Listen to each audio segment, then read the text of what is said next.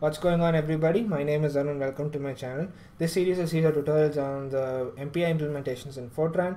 So in this tutorial we will be looking at some of the terminologies that are involved in MPI uh, and in the next video we look at we'll write our hello world program. So I thought I'll clear this topic up uh, pretty pretty quick because this comes this becomes a bit confusing uh, especially if you do uh, to understand the basics. If, you, if, this is not done you might find a little bit odd and uh, confuse every now and then. So i thought this will clear up everything. I made this presentation so that you clear up everything. So usually i mean usually the first question you might ask is what is a processor in the in these things? All right so processor is not is let me put it simple it's actually the processor of your system. No question asked. It's as simple as that. Doesn't have to be much complicated However, the remaining terms, the core, thread, hyperthreading, CPU and all of that, they become a bit confusing to you, confusing to confusing because they have they have modified the definition of it has modified significantly over the time period. So so this is a simple schematic explanation of what the what and what these mean. I'll, I'll walk you through walk you through easily. So the CPU or the central processing unit is actually the heart and brain of a computer. Heart and brain of a computer. No, okay. That is the that is the core component of the processor. All right. So the CPU has three components in it. Three main components: the control unit called as CU, a memory unit called as MU, and the ALU, which is the arithmetical logic unit. Control unit takes care of the uh, monitor's overall process. Memory unit has registers wherein the data is temporarily stored at uh, temporarily stored at remote ALU ha the, uh, has uh, has flops in it and which does all the arithmetic and logical operations. Alright? So these three work in tandem to uh, do all the processes and that is actually the that is actually CPU and the CPU receives data through a, through a, through a stream and it's called as the input stream. Alright? Usually the CPU has one input stream and one output stream. So it has only one stream of data flowing in. And this is this is this stream is actually called as a thread okay? The reason why it's called as thread is because there the information comes in as a long string or long string of data or long thread of data or thread of data and instructions. Okay? Hence it's called as thread. Nothing more fancy about it. Alright? Usually CPUs have one input stream and one output stream so single threads. Alright? Now what a sing um, usually a processor in the olden days has only one CPU so there was not much of a com um, complexity in that regard but in the but with the advent of uh, but with the advent of uh, dual core processor, quad core processor and all, they've slightly modified the definition. Usually, one some process have only one CPU. Understood. Some processors these days have two two CPUs or four or eight or sixteen or what many numbers. Okay, so some processors have dual CPUs. For instance, Intel dual core, Intel Core 2 Duo. Slightly older technology. This is the oldest technology. This is slightly older technology, but still it's relevant here. Here in these cases, one processor has two cores. And what is a core? Core is actually a fundamental, fully functional and a fundamental part of a processor. That is to say, that is to say, if you take one core out and if you do a little adjustments to it you can actually make it run as a single individual processor. Okay? Now you might ask why don't you say two processors in a system? Well they what they did is since the advent of uh, VLSI and improvement continuous improvements in VLSI very large scale integration they're able people are able to reduce the size of the components significantly smaller without losing efficiency. And so earlier if a processor used to take uh, take certain amount of space you can actually make up the same processor several times faster yet much more efficient and, and several times smaller than the usual size. So what people did is instead of making a processor a big instead of making a processor smaller they actually made the components smaller and then in the same place where you keep one big one big and uh, older processor you keep two or three or four uh, smaller processes and interlink them together and that interlink uh, they, and they make them work together as a single entity. And that actually becomes your processor all right that being uh, okay so visually to explain it this is how it goes. Usually usually this is how the single core processor looks like but this is actually dual core processor essentially what you're doing is that here in the same space that you had for a single processor you reduce the size of the CPU uh, CPU co components significantly. You just then you just place two CPUs okay? Each of them can behave as a single processor all right you can put them together in the same spot as the big uh, original processor. Connect them together so that they behave as a single entity all right so that that by it has the same processor has uh, two components in it to put this simple imagine a one person having two one body having two heads two individual heads. Each head uh, each head or each brain okay is a single is a cpu simple as that. So remember this way. Single core single processor has is like a one body one one body one head. Whereas a dual core processor is like two body um, one body two heads. Quad core is in a, in a, in a, in a similar man in a similar manner. It's like four cpus or four co uh, four cores embedded in the same embedded together in the same processor so that you have four four components in it like that right? Now here is the messy messy part. Usually a core has only one cpu in it all right usually core has one cpu in it.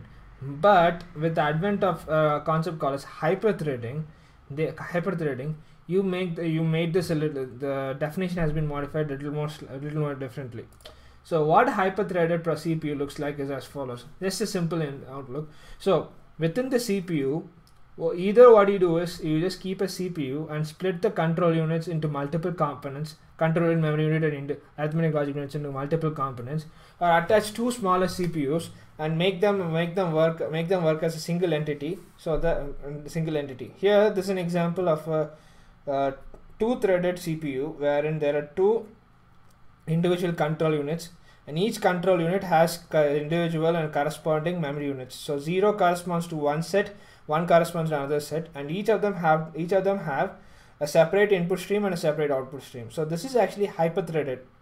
Reason is because it, it, this cpu can take two threads uh, or many threads of many streams of information. So that's why hyper-threaded. Okay? So one way to put this is that it's is that you can say is that uh, one hyper-threaded cpu one hyper-threaded cpu equals n single-threaded cpus okay? CPUs okay? So where n is the number of threading possible usually they have just two. So one example here is the Intel i7 processors wherein the Intel i7 processors each processor has four cores okay so each processor so one body four heads and each head each processor has CPUs or each processors have um, either have to either have two CPUs in each cores each course okay? Each uh, how do I put it's like this. Either each CPU, each core has two CPUs or each okay? That's how you can go about with it. And then as a consequence there are eight threads in that regard okay so this is called as hyper-threading. Then sometimes you can have three threads or four threads for a CPU process as well. In theory but in practice it's not much. I, have, I don't know whether they've done it or not. There are certain process wherein they have six pro six cores and multiple threads and all of that. So before you go about with all of this, it's better to understand this to know to know these bit in detail. To reinforce this idea a little more clearly, look at this. This is actually the Intel i3 processors website in Intel. Okay, and look at the, some of the specifications here. This is the Intel Core i3 processor with the specification 8100. It has 8 uh, 6 MB cache and 8 generation. Let's not worry about this, but look at these two information. It says 4 cores and 2 threads. So this CPU has four cores, okay, and each core has a single thread. That's it. So it has it can in this machine. So this CPU can give me four CPUs, four processing units. All right. Now look at this machine. Uh, look at this process. Similarly, similarly with just with this information, I can say that it has four cores and four threads. So I can have four C four individual CPUs in it. Likewise over here, check this out. This is a hyper-threaded. Uh, in all these cases, these are single-threaded single-threaded CPUs, whereas this is a, uh, whereas this processor has dual-threaded CPUs, okay, dual-threaded. I mean, dual-threaded cores.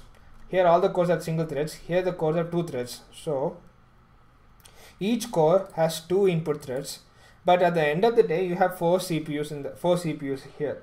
Likewise, in this case as well, you have four CPUs. Now, what will, what I can do is I'll just go and remove this yeah now let me go back and type Intel i5 processor now Intel i5 processors let's look at the specification of that and I will also also look at Intel i7 processors just to give you a idea. Now 8th generation Intel i5 processors. Now let's expand this. Now check this out. This one has 6 cores and 6 threads. Different okay? Single threaded cores similarly to this one. And look at this one. This one is actually an example of a hyper-threaded. So there has four cores and each core has two threads so this is has eight threads. So ultimately here in this in this mission in this processor I, uh, I can find six CPUs likewise in this I can find six CPUs whereas here I can find eight CPUs so eight individual uh, that can work on that I can work on here is here this is an example of a single threaded uh, i5 processor wherein there are four cores and uh, each core has a single thread so I can find four CPUs in that in this regard. So if whenever you're buying going to buy a new computer or going to get a new laptop or something like that uh, have these uh, specs in detail have these specs so that uh, you you can make a much better informed decision. All right? Now let's look at i7 as well just for the sake of completion and i7 by default uh, by default is actually a improved version of i3 and i5 okay? So this this processor over here has four cores and eight threads. Four cores and eight threads. So this is hyper threaded again four cores eight thread hyper threaded hyper threaded hyper threaded and again this one is again hyper threaded but look at this. It has six cores and 12 and 12 threads. So each core has two threads and there are I can get 12 CPUs from this machine from this processor. Similarly here I can get 12 CPUs here I can get 8 CPUs and this is okay. What you notice over here is that is that i7 in general is a hyper-threaded processor whereas i5 and i3 are in general a single threaded processor and you can get a hyper-threaded for higher specifications. Higher specifications. All right. Now in my system I would does I would suggest you open up a system monitor or task manager task manager and you can see it for yourself. In I'm using Ubuntu and in my system I uh, in my system I have my configuration my configuration is as follows um, let's see what was it? Um, okay fine fine okay so this is my configuration. So my processor is uh, it's an old system. So it has in, in Intel Core i7 3160 uh, 3610 QM CPU okay and it has and and it has uh, 613 I mean 8 uh, I mean 8 8 of them. So this is actually an i7 processor. So it has it's a quad core system with for two uh, with uh, so as a consequence as a consequence, I have four cores in my system, four cores in my system, and each core has two threads. Hence, I get eight CPUs running running simultaneously. All right. I suggest you open up a system monitor or task manager in your laptop or machine which you're running and see this for yourself and uh, see what see what you're doing see how is it and uh, we will come back to the system monitor thing every now and then during our programs to visualize this entire process to get a feel for this process. So that's it. So what I would say here in this part is um, what I would say in this part is before you uh, before running the code it's good to know these details and it help you to understand this a little better. And of course the terms we always look we we, uh, we talked about it and here's the thing process. Process is nothing but one instance of your program running in a processor okay? Always you should always one thread means one process one process. Depending upon the process architecture one the core equals n processes okay? So if you have a quad core let's say quad core let's say and uh, in each quad in uh, quad core each quad core let's say and uh, the the cpu i mean the cores are single threaded then you have four processes. Four processes okay like that. You got the hope you get this i hope you get this idea. Fine. And now uh, other terms uh, so up to here is all of is these are on the hardware side. And process it's a software part so, software side okay that's the interlink and this is actually the software side the other terms that uh, you have to keep in mind while right uh, the program in MPI is actually the communicator, communicator size, and rank. Okay, that's uh, this will be the last of it. In this okay, communicator is actually an object that collectively represents a group of processes. By default, the uh, the communicator that you have in in MPI is MPI com world. Okay, that's a default global commun. It's called as a global communicator, and there is a number called as communicator size if this is actually the number of processes running running uh, that is under the, that is under MPI com world rank is nothing but the process number or the id of the pro process number or the process id all right and uh, this is how a MPI program actually works. You start the program, you end the program, and between you start you put all the data declarations you want, and then you initialize MPI. Okay, create a commutator size, set the commutator rank, run the code and then after you do all the MP, uh, all the codes and stuff uh, all the run the code. And here you specify the all the other program all the MPI parameters whatever whatever you want. You finalize the MPI and then you end the code. All right so that's the flowchart.